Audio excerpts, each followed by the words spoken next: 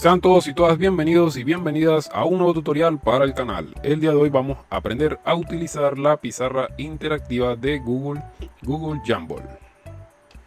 Google Jamboard, que al igual que todas las aplicaciones de Google, es gratuita y disponible online para todo el mundo. A lo largo de este tutorial veremos cómo podemos acceder a la aplicación y a las diferentes herramientas y funciones que nos ofrece el programa. Es muy importante conocer para qué podemos utilizar esta pizarra y es que esta pizarra inteligente nos permite interactuar en tiempo real. Con ella usted podrá escribir, dibujar, agregar imágenes, líneas, notas, etc.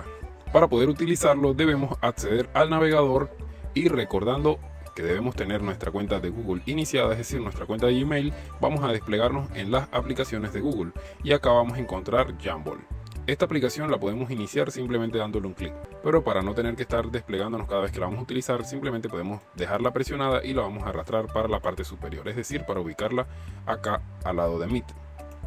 También existe otra forma por la cual podemos ingresar a Jamboard y es que lo podemos hacer buscándolo desde nuestro navegador. Vamos a buscar Jamboard y vamos a ingresar al primer enlace. Luego nos cargará esta página y aquí tenemos la pantalla principal de la aplicación.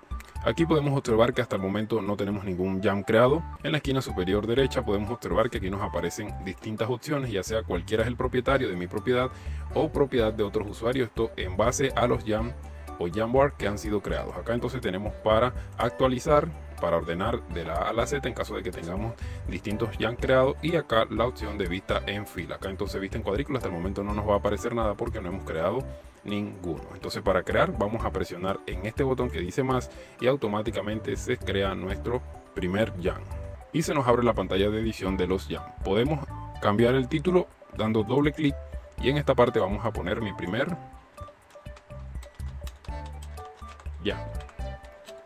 Le damos en aceptar y ya de esta manera tendremos nuestro primer jam para crear lo que nosotros decimos.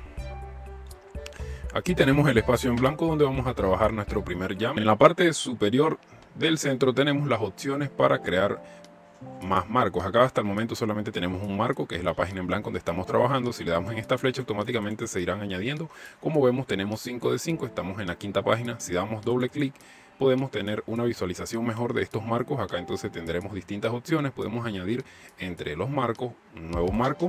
Aquí entonces vemos que ahora contamos con 6 marcos. Podemos desde estos tres puntitos que tenemos aquí duplicar o eliminar. Como también podemos cambiar la ubicación. En este caso estamos ubicados en el marco número 5 y podemos ver que aparece un contorno en color azul indicándonos que es en este marco que estamos trabajando. Nosotros podemos mover esta página o este marco número 5 que esté de primero y cambiará el orden. Aquí hasta el momento entonces tenemos 5.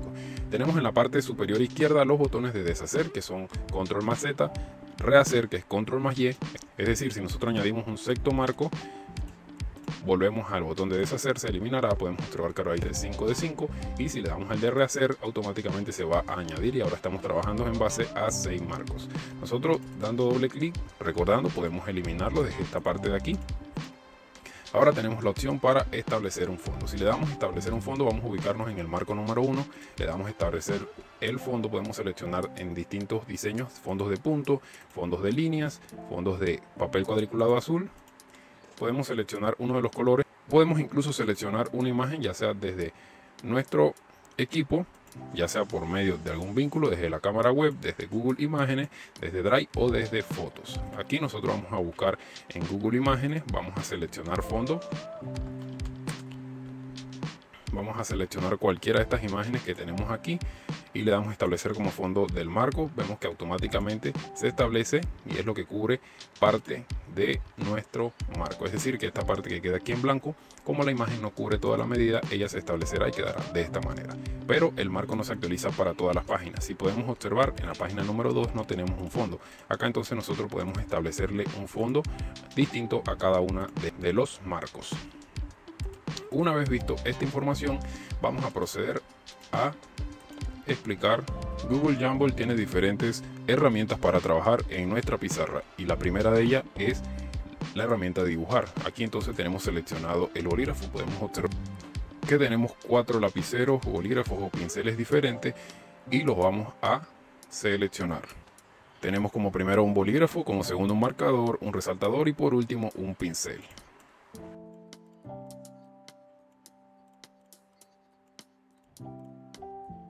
Y como ven cada uno tiene una opacidad y un grosor diferente. También podemos seleccionar dentro de seis colores que nos ofrece el programa.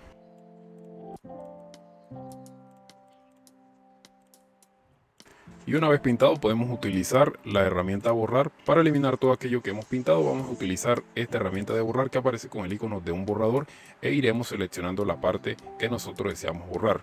Como también tenemos otra forma de eliminar y es utilizando las flechas de deshacer nosotros podemos ir ubicándonos para atrás para ir eliminando lo que hemos añadido.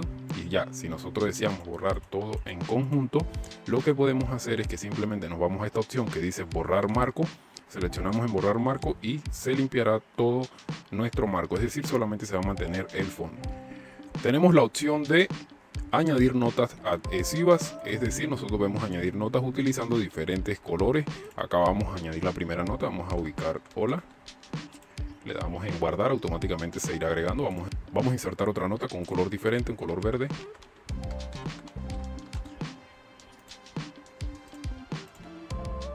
Y por último vamos a insertar una que no tenga fondo, es decir, vamos a poner nota sin fondo.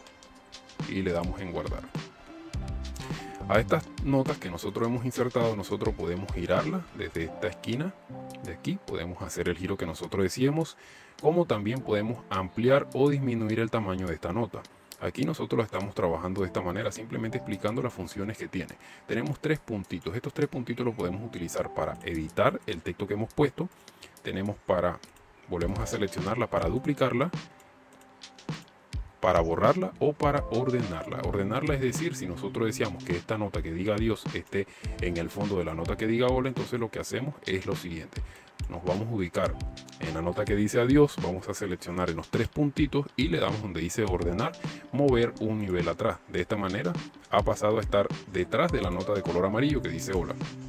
En caso de que nosotros decíamos que esta nota esté por encima, lo que hacemos es que le damos en ordenar y le damos mover al frente y de esta manera estará por encima. Acá entonces tenemos la nota sin fondo, vemos que ambas tienen las mismas opciones de girar.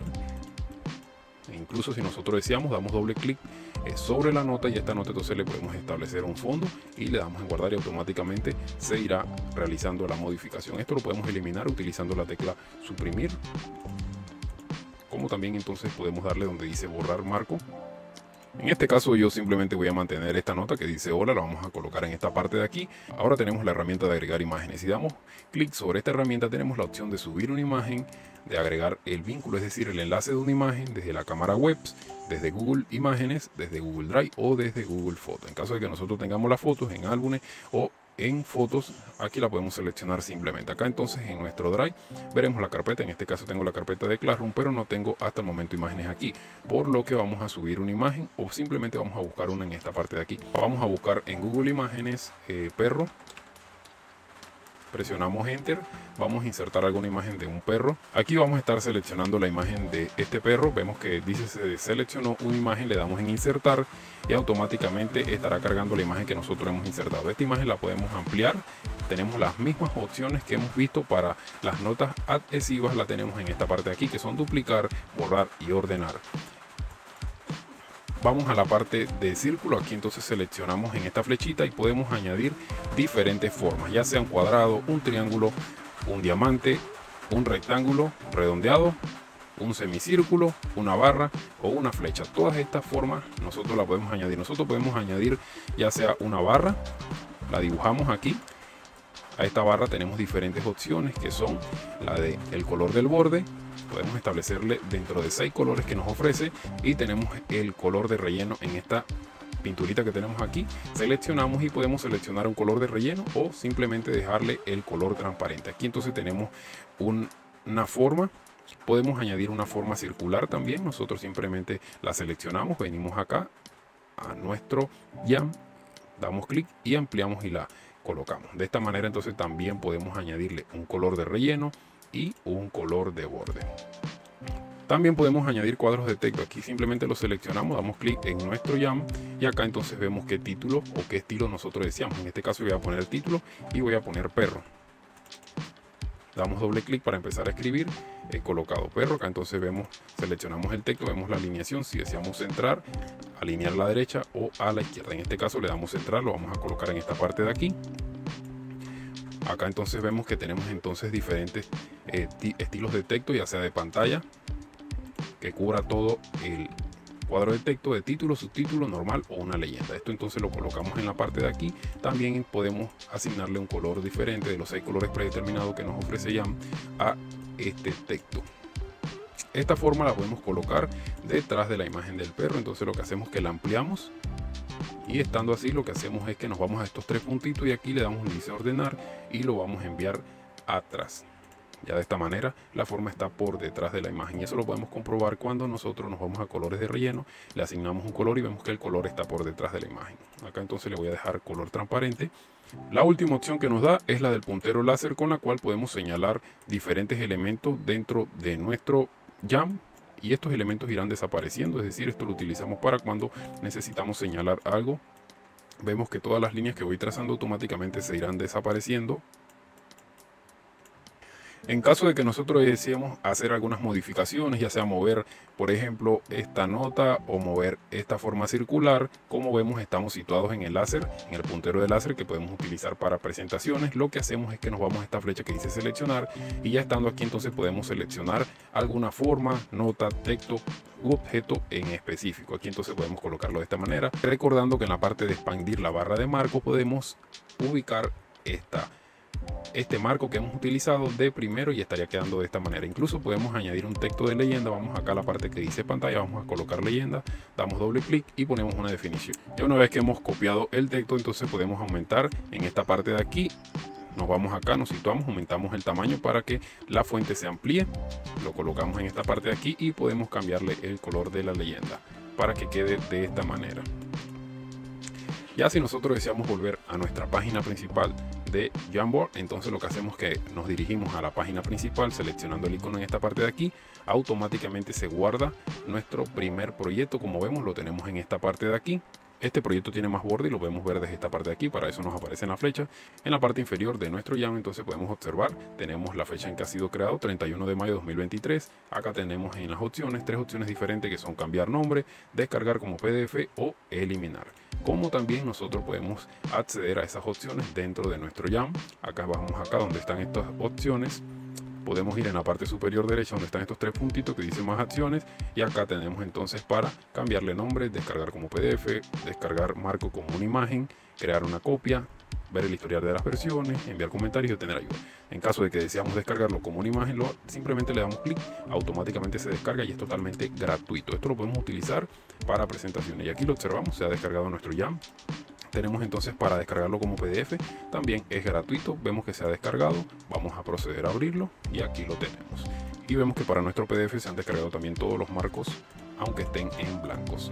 Y ya por último tenemos la opción de compartir. Aquí le damos en compartir y podemos añadir el correo de las personas que nosotros deseamos enviarle. Aquí podemos seleccionar qué, qué acción puede hacer esa persona, ya sea lector o editor. Si nosotros deseamos que solamente pueda visualizar, le ponemos lector y le damos un mensaje. Le podemos indicar, observa nuestro primer ya.